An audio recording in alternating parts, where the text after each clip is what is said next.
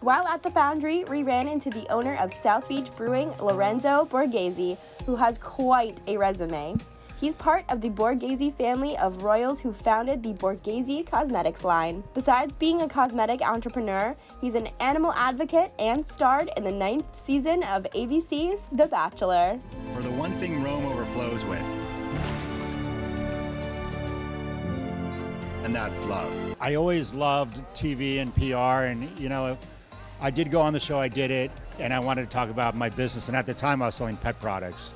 And then I transitioned into beers because it's so much more fun, although I love dogs, but I like consuming beers. And it's a great platform to get whatever you're doing out, including I also have an animal rescue organization. And so that, that platform helped me really promote the animal rescue organization. I love that. So you're the founder of South Beach Brewing. Can you tell me how this company kind of started, how it has progressed? Oh, there we go. And I want to know what you're drinking. I need to know. This is a Blood Orange IPA from South Beach Brewing. It's brewed with real Florida orange juice, and it's my favorite beer. So how did your baby come to life? Um, it actually came to life. I was living in New York City, and I was going to do a brewery up in New York City. I got in a fight with the people that were going to fund it, and they lied to me. I moved down to Florida. I put the idea on a shelf and then a friend of mine said, hey, why don't you start doing that beer idea again? And I had ideas of doing like a brunch beer, beer with electrolytes. And I said, in order to do that, I need a really good brand name because it's so competitive. And he said, how about South Beach? And I said, there's no way that name isn't taken yet. And sure enough, it wasn't.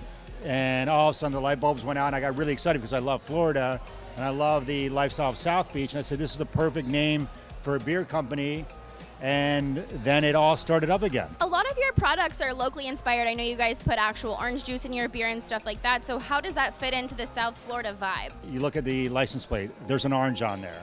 So I wanted something that was really true to the state. And yeah, you can do an orange IPA up in New York, but it's not authentic to New York. They have apples. They can do an apple IPA if they want to. So I just wanted it to be really authentic to the state, and I wanted to help local farmers. So all of our orange juice actually comes from the state of Florida. You have a tagline. One is I love right now, and that that we actually trademark because our beer is that vacation beer. And I'm not saying just because people come down to Florida for vacation, but it's this vacation state of mind. Just remember to love every moment you have in life because it's short and it's about just really enjoying every second you have.